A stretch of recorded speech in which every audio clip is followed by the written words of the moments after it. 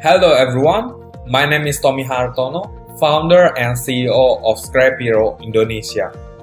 Scrapiro is a decentralized recycling platform that allow collectors of scrap to recycle right away at their location.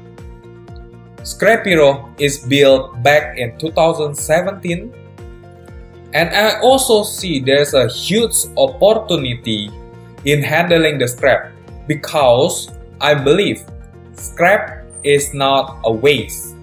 So, as a scrap hero comes, we want to create the similar value of the scrap that's being thrown away into a raw material as the originally was.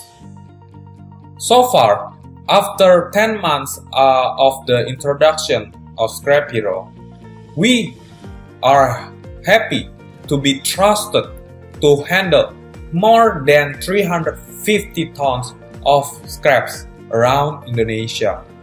We are currently building a prototype of modular system that allow our existing process of recycling, which is decentralized, to be a modular where everybody can use our system as easy as a Lego puzzle.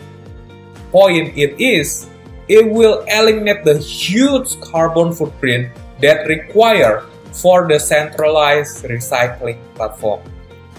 I am a misfit and I want to build the future.